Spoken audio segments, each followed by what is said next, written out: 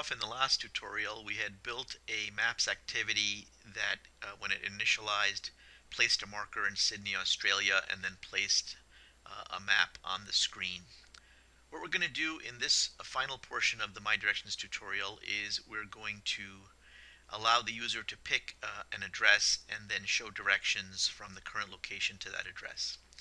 So let's go over to the layout now and if we go there we see that currently on your screen you'll see that there's going to be a fragment displayed and there may be some warnings or error messages saying it doesn't know how to display the fragment.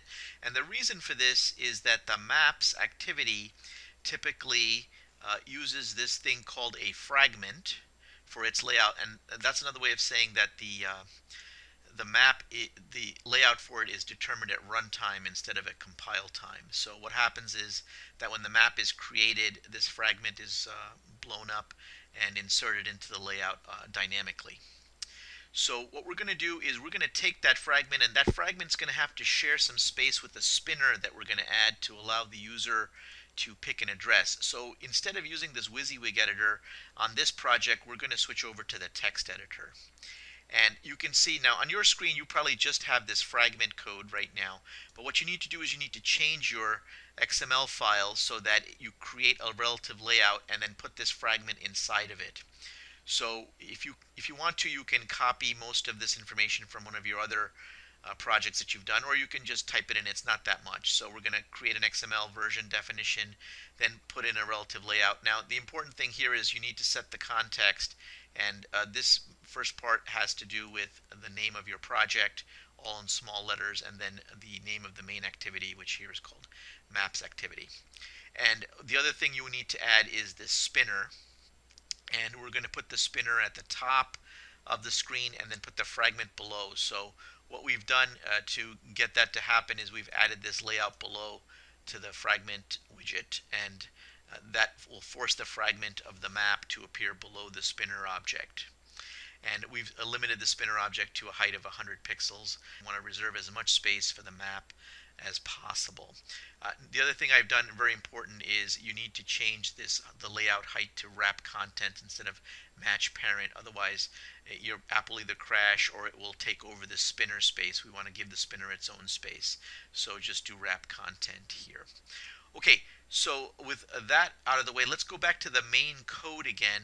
And I want to show you now we've added the spinner code and uh, what we've done is we've added a spinner called SP addresses. That's going to hold the addresses that are going to be the choices. And then we have an array list that's going to contain all the various addresses that the user can pick from.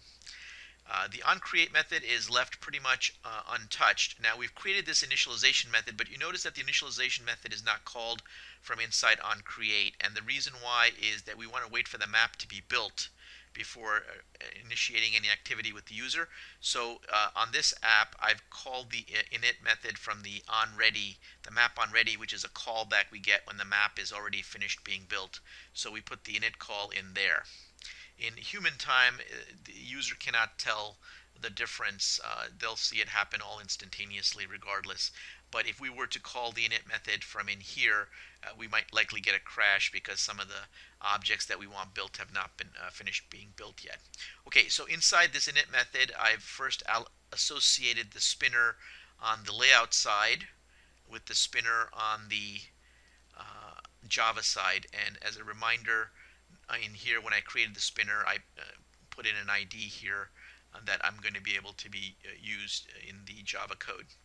Okay, so we've created that, and then we've created these spinner choices, which is a simple array list of strings, and I've hard-coded three possibilities here. Uh, this is the school where I teach, and there's some two other famous landmarks put on here. And um, in the enhancements, you're going to give the user a, an opportunity to add to this list, but right now, these are the only three choices I've coded. And then I've created the uh, array adapter that's going to be used for the spinner, and um, put in the overrides that are necessary to create the spinner object. You, this is all standard. You can copy it from your previous spinner code. Okay, let's run this now and uh, see what we got so far. Okay, here it is running on the emulator, and you can see that the space for the spinner is right at the top here, and here is the map being displayed with the marker from Sydney still very much intact. And uh, you can go over here now and pick any of them. Notice that I put in a blank entry. You can see that up here uh, for the first one because I don't want there to be a default choice. So when it comes up, it comes up with a blank and then the user can pick from one of these three addresses. So for example here, I've got right now just a toast message echoing it, but soon we're going to change the app to give us directions to that location. Right now when the app first powers up, we create a marker in Sydney, Australia and display it, but that's not what we want to do. We want to display instead the current location. So I'm going to replace some of this code now with this new code, and I'm just going to talk you through this.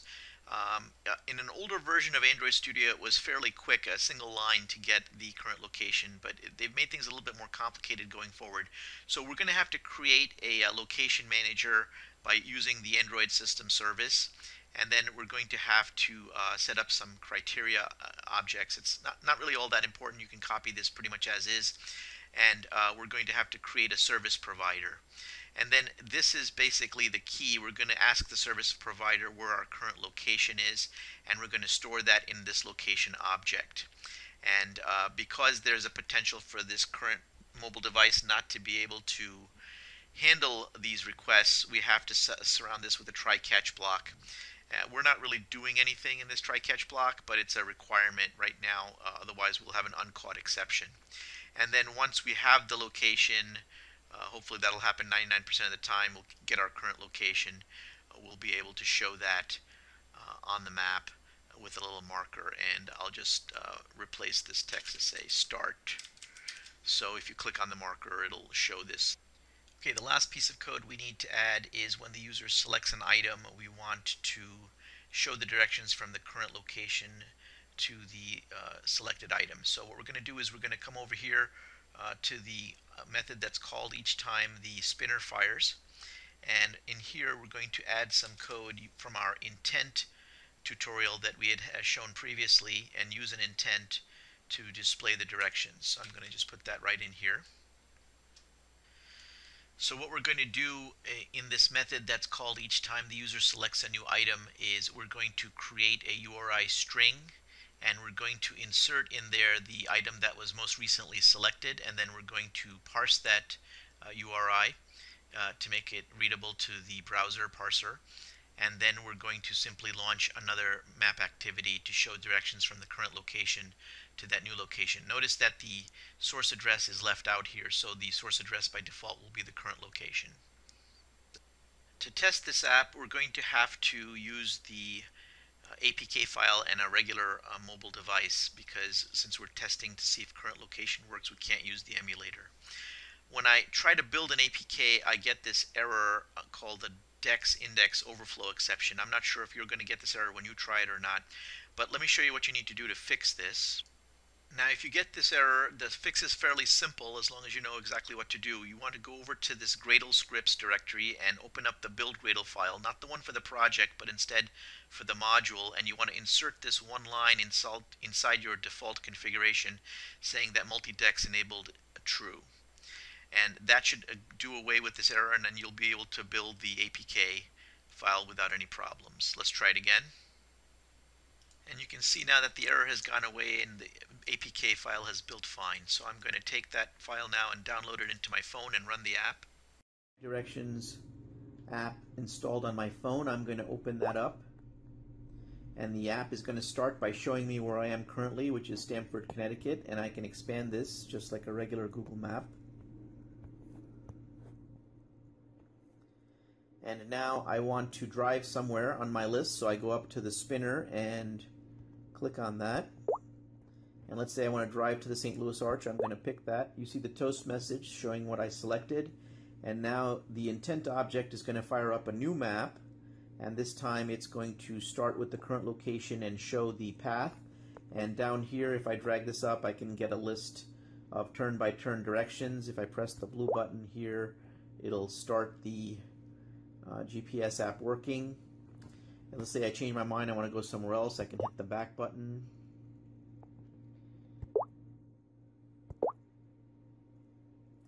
And now I can pick something else on the spinner. Let's say I want to drive somewhere a little closer, like the Empire State Building.